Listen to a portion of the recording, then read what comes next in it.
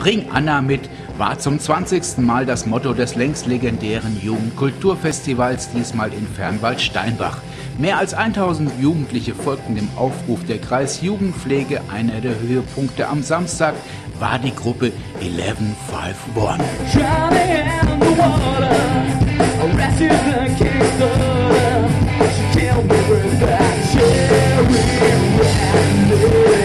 Wir haben im Vorfeld ungefähr 25 Jugendliche aus dem gesamten Landkreis Gießen gefunden, die sich hier äh, über mehrere Wochen im Jugendraum in Steinbach getroffen haben, um die Veranstaltung vorzubereiten. Es ist eine Veranstaltung von Jugendlichen für Jugendlichen, spitze Sache.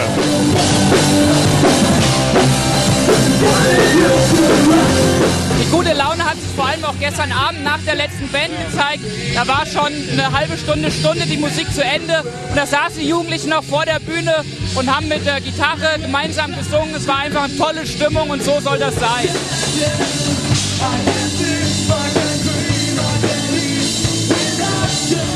Ich habe selten so ein gutes Festival wie dieses erlebt.